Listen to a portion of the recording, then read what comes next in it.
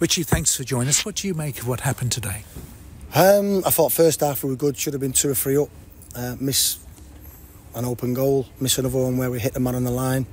Um, had another good opportunity. Should be a couple of goals up. We don't take them. Second half, diabolical from the from the kick-off. Poor, poor decision making, poor body language, poor intensity, poor quality. Um, and again, Dave, we conceded one shot and got on target. We and, and for, for, how we've only had, I'm not sure if we had one or two, how we have had only one or two shots on target with the areas that we get in. How many times my fullbacks put crosses in low, and I think we've put over 50 odd crosses in today, including set plays.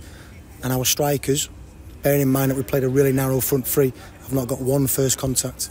So the desire, the hunger, the intensity to get in there and score goals wasn't there. And it's, it's our, for me, it's our biggest our biggest deficiency at the moment. We need, we need a centre forward that's going to get themselves in a position, sprint into areas, score goals. Because if we go 1 0 up there, the game changes. But we, at the moment, we never ever score when we're on top. And I mean on top. And then in the end, it becomes a little bit shambolic where I should never have to change the shape. I should never have to make it five subs in a performance where it was so comfortable. But the players need to wake up. The players need to. And what I'm saying to you is nothing that I've said differently. We let our supporters down second half because it was a, a, honestly diabolical performance. From a, from a, really good performance. Why was it so bad after the restart? Again, we asked the players. Do you know what it is, Dave? They get in the tactics that we give them, in the way that we play, they then get too comfortable, and they get above themselves. And what do they start trying? Something that is not going to get them success. So, in the first, so we switched the ball. We've played in pockets. We've got our fullbacks high and wide. We've delivered ball after ball, and it's looked good. And the kick off, we play long. It goes to Guthrie's head. He clears it with no contact. We then put it straight back in. Goes to Guthrie's head. He clears it. It then goes straight back in to Guthrie's head. So free on the bounce. Yeah and he's cleared it with no contact, no pressure. We then have a throw in five seconds later. The ball goes down to Dan Happe, and we've said don't switch the ball by a diag when the ball has come from the same side. We then play a diag, knowing that they play narrow wingers. Yeah, we lose a diag, and the winger's cheating inside are in a good position to, to counter attack.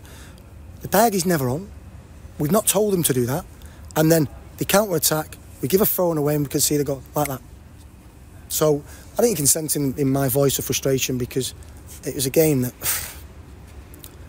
should have been should have been comfortable. But maybe that's the problem was we're comfortable in games, and then as soon as something goes our way, we're lacking. We look like a young, inexperienced, naive team second half. But there was experience on that pitch, particularly in that second half. I don't disagree, but the experience doesn't. When I'm saying naive, still made some right, right decisions. We pass the ball slow. We don't punch it second half. We take too many touches. Um, so yeah, we, we, we need we need to wake up because again, it's not a performance where sorry, it went from a performance where we should be winning to a performance that bad that Northampton deserved to win. Without Sean Clare, what is the news regarding him? He'll be out for two to three months. And that injury is a hip injury? Uh, yeah, no, it's something where you, he might need an up in, in, and around the groin area. It's a, a big blow, isn't it? It's a big blow because I think at the time him and Galbraith was, was two of our best players. Um, and even though we've got a lot of options in midfield, no one's really taking the shirt. No one's really. I know, Alice, I, I get Dom because Dom's trying to fit a pre-season and he's playing while he's still trying to get fit. So I get that. And sometimes when you get when you're getting fit, it's not just your technical ability; it's your mental ability to see things quicker, to, to move the ball quicker. So, um, but no one's screaming out and going, "Give me the shirt." Sean Clare's injured because I think at the time he was our best midfield player. But in fact, we could say that all across the pitch. No one's really grabbing it. Um, and we had this same conversation a few weeks ago.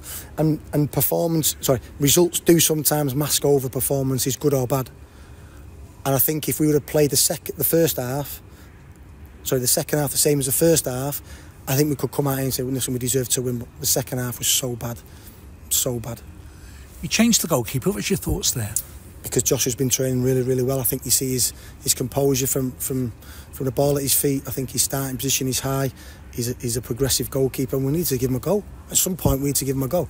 So I think that um, he can be proud of his league debut because I thought him and Galbraith was two of our best players. It's Rotherham on Tuesday. What can you do, particularly up front, uh, ahead of that game as you look for your first home win? Again, more belief, more physicality, more belief in, in, in terms of your, your intensity. I just spoke to him there. I said, uh, the best two goal scorers in our league are Alfie May and, and um,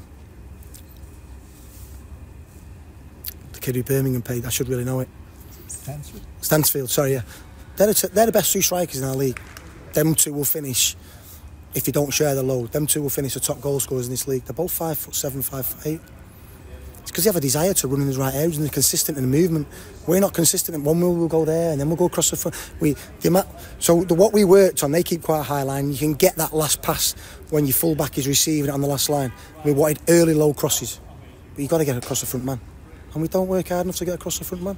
So what have we got to do against Robin? We've got to regroup. We've got to come in training with a smile on our face, pick ourselves up, not feel sorry for ourselves, and come with a forget game plan. Forget game plan because the game plan was always good. The game plan was there with a mentality and a spirit to do whatever it takes to win a game of football. And sometimes you look at, and this is no disrespect for Northampton, but they get it, they boot it to Eaves, you're looking for a free kick. They get a second ball, they play forward. It's very, very basic. But they've won a game today. So we need to probably copy it and be a little bit more basic and just try and get a result.